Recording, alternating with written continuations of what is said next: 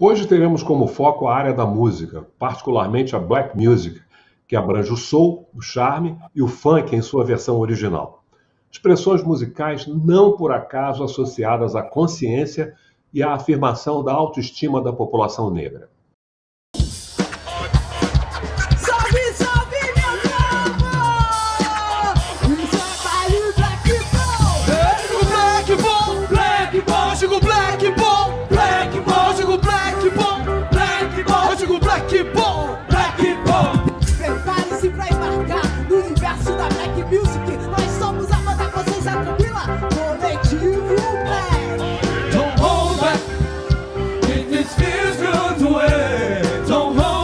Hoje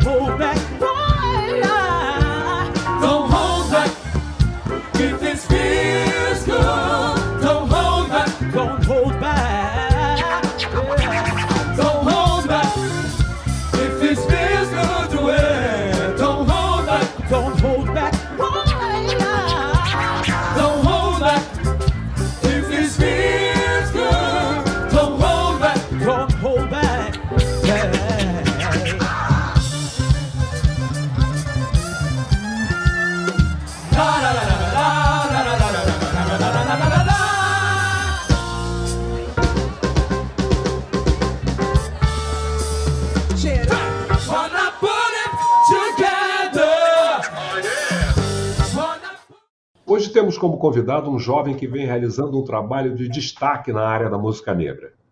Nascido no bairro da Tijuca, no Rio de Janeiro, mudou-se muito cedo para São João de Meriti, depois do pai ter sido assassinado. Apesar das dificuldades, sua mãe sempre teve como foco a sua educação, propiciando que estudasse em boas escolas particulares. Muito novo ainda, começou a destacar-se na área dos esportes, tornando-se campeão e recordista mundial do salto em distância aos 13 anos de idade. Passou a fazer parte do projeto social Mangueira Xerox, que lhe rendeu algumas bolsas de estudo. Aos 17 anos, porém, sofreu uma lesão no joelho que o afastou do mundo do esporte. Começou então a estudar direito e, ao mesmo tempo, frequentar muitas festas de rua, chegando a trabalhar como segurança em baile charme. Veio então a ideia de montar uma banda própria de rap, a Consciência Tranquila, com a qual tem viajado por todo o Brasil e também ao exterior, participando de grandes eventos como a Virada Cultural de Manaus, o Festival Demo Sul em Londrina, o RPB em Fortaleza e o Kizom Beat na Argentina. Montou sua própria produtora cultural, a Botacara Produções Artísticas, que lidera diversos projetos no cenário cultural independente. É também mestre de cerimônias e comanda as principais festas do centro do Rio, como Trap In, Funk In, além do consagrado Black Ball. Vamos conversar com o compositor, MC e produtor cultural Antônio Consciência. Antônio, é um prazer especial para mim conversar com um expoente da Black Music no Rio, meu gênero preferido, e eu que sou um frequentador do Black Ball. Seja bem-vindo ao Cult em Resenha. Para mim é um prazer né, estar tá participando do Cultura em Resenha, principalmente pela importância que o programa tem para todos nós né, e multiplicando é, personagens da cultura negra para tanta gente. Isso para mim é, não tem preço e eu fico lisonjeado de ter sido convidado para o programa. Ah, Antônio, sua vida foi marcada muito cedo por um incidente bastante doloroso, que foi o assassinato do seu pai. Como é que isso repercutiu na sua vida? É, foi algo que só foi caindo a ficha quando eu fui ficando mais velho e, e fui entendendo de fato que havia é, acontecido, né? Eu não tenho uma, uma, uma, foto do meu pai, eu não tenho é, nenhum parente dele conhecido, é, porque após esse incidente é, minha mãe não teve mais contato com nenhum parente dele e a mãe dele era baiana. E infelizmente ele trabalhava na época na prefeitura e, e foi uma, uma coisa muito triste, né? E que, e que deu uma reviravolta nas nossas vidas. E é, parecia que o mundo tinha desabado, mas eu só vim dar conta, entender tudo isso que aconteceu aos cinco, cinco anos, que ela foi me explicando melhor o que havia acontecido. Mas foi uma coisa muito traumática mesmo para uma, uma criança de cinco anos, porque começou as cobranças no colégio, né, Dia dos Pais e tudo mais. E eu não tinha um pai, e aí veio a explicação e o que havia acontecido. E você sabe qual foi o motivo do assassinato? Bem, o que, o que relatam para gente que era uma queima de arquivo. Pai estava no momento errado, numa hora errada. Meu pai era não, não, não bebia, não fumava, só treinava, gostava, acho que todo, tudo isso que eu, que eu herdei assim, de esporte foi dele, ele nadava muito bem, corria muito bem, a vida dele era só essa, mas ele infelizmente estava no momento errado, numa hora errada, viu algo que não era para ter visto e infelizmente ali foi caçado até que ele pudesse não relatar nada, infelizmente. Antônio, você e sua mãe então se mudaram para São João de Meriti, onde, graças aos esforços dela, você estudou sempre em escolas particulares. Como é que isso influenciou a sua vida? Como é que foi essa convivência com essas crianças de classe média para cima? Né? É, sim, a gente vivia em São João de Meriti, na verdade, com ele, né? Quando ele morreu, a gente saiu de São João de Meriti e foi para Tijuca. E aí esse esse ato aí de ir para Tijuca e tudo mais foi um, uma como é que eu posso dizer foi complicado para minha mãe ela ter que é, modificar assim totalmente sua vida. Ela sempre foi uma mulher muito bonita e trabalhou em, em empregos muito bacanas. Ela trabalhou inclusive com o Timaya, então ela me conta muitas das histórias do Timaya, assim, de produção e de discussão. Perdão, Antônio, alguma coisa que tenha, alguma coisa que tenha ficado na sua cabeça dessa convivência dela com o Tim? Ela fala muito das, das histórias das brigas de banda, porque mais velha eu comecei a ter muitos, muitas discussões com músicos e ela falava que isso era uma coisa cotidiana do Tim Maia, de discutir com os músicos, de mandar todo mundo embora lá do apartamento onde ela, ela convivia. Enfim, é, e aí ela, pra, quando, quando ela vai para Tijuca, ela começa a trabalhar como zeladora de prédio e uma mulher negra no pé do morro. Antes de ir para Tijuca, na verdade, a gente ir para a subida do Turano, para um prédio, a gente foi morar ainda na Mineira, no morro mesmo.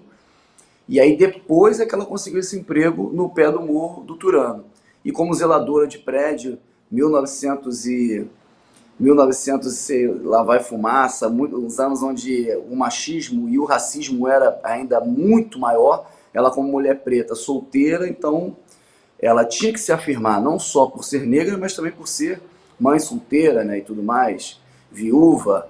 Então ela teve que brigar muito, batalhar muito por esse emprego e se afirmar ali e obter respeito, porque era muito complicado, né? Então ela a, a, minha a minha aula sobre racismo e tudo mais, eu digo sempre isso que ela não tem o estudo da matéria, mas da vida ela tem enciclopédia, né? E essa é a diferença entre a sabedoria e a inteligência, né? Porque o jovem pensa que sabe, mas o, o senhor sabe o que sente, né? E aí eu sempre falo isso, falo até numa música minha, ela a gente foi sentindo isso na pele, porque eu era um jovem de 5, 6 anos que para todos os imigrantes que moravam no prédio, português, italiano, todo mundo, eu tinha que ser empregadinho deles, comprar cigarro, comprar pão, era muito normal, e se você falasse não para essas pessoas, você era mal educado e tudo mais, e ela jamais permitiu que isso acontecesse.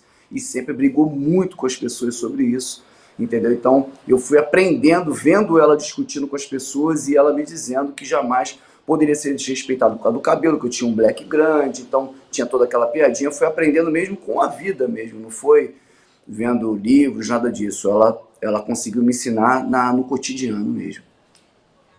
E na escola, Antônio? É, na escola também. Na escola, sabe que antigamente esse lance de bullying na escola era diferente, era resolvido no tapa, né? Vamos ser sinceros que a gente tinha uma consciência racial, mas se eu não me defendesse num colégio particular, sendo o único pretinho da, da, da sala, de cabelo black, e o meu cabelo black era grande, ela penteava, porque era na época a galera gostava de ver, ela passava o pente daqui até embaixo, que caía lágrima no olho e o black gigante.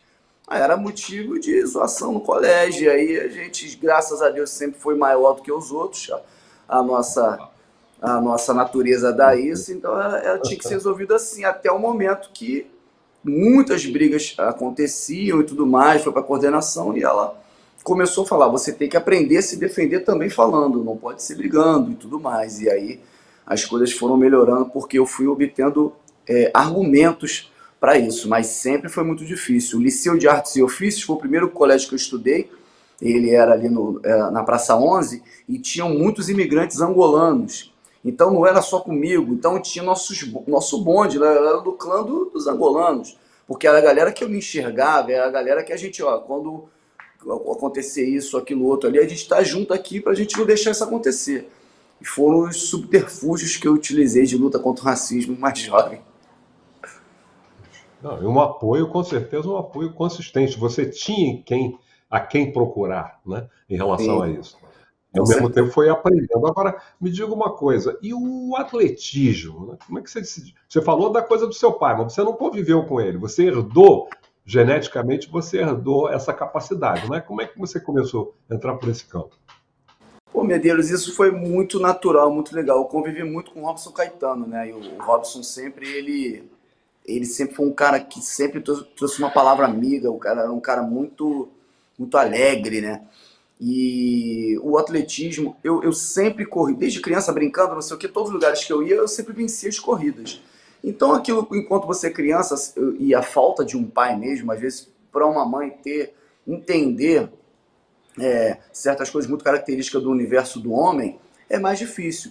Então eu, eu sempre vencia as corridas e achava aquilo muito natural. Então, um dia um professor chegou para mim e falou assim: olha, é, vai ter uma competição aí de do, do intercolegial e eu gostaria que você competisse. E é de corrida. Eu falei, não, professor, eu quero fazer futebol.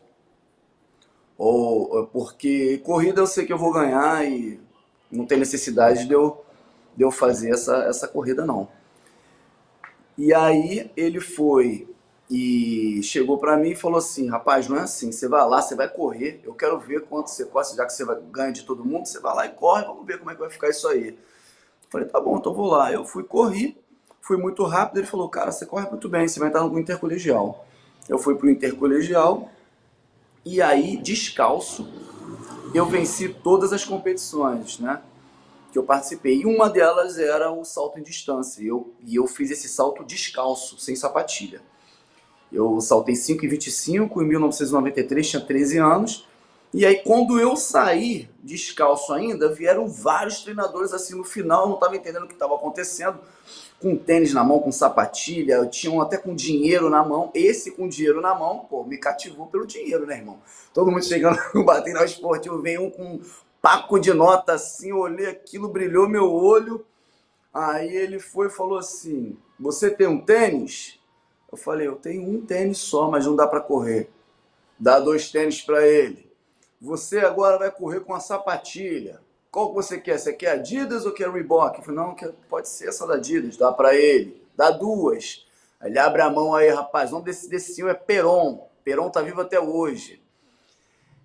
E aí ele foi, abre a mão aí, foi botando nota de 10 e já tinha botado 100 reais na minha mão e eu olhei assim, ele tá bom? Eu olhei assim para ele, não, não tá bom não. Foi dando mais e me deu os 200 reais naquela época, era muito dinheiro chegou e falou assim para mim: segunda-feira eu quero você aqui no Série de Barros treinando com todo mundo e você não vai pagar mais colégio, eu vou te dar uma bolsa de 100%. Foi quando ele me deu uma bolsa para o Santa Mônica. Antônio, a gente tem que cortar porque terminou aqui o primeiro bloco, mas você vai continuar contando essa história daqui a pouquinho, segundo bloco. Perfeito.